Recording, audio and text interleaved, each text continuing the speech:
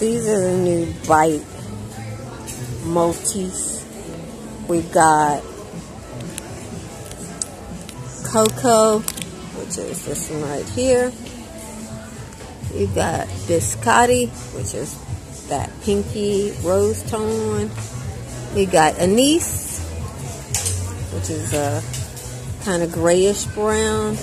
And then finally, Blondie. They're beautiful colors. I really like brown as a lipstick. That rose, they say eyeshadow, blush, lipstick, everything.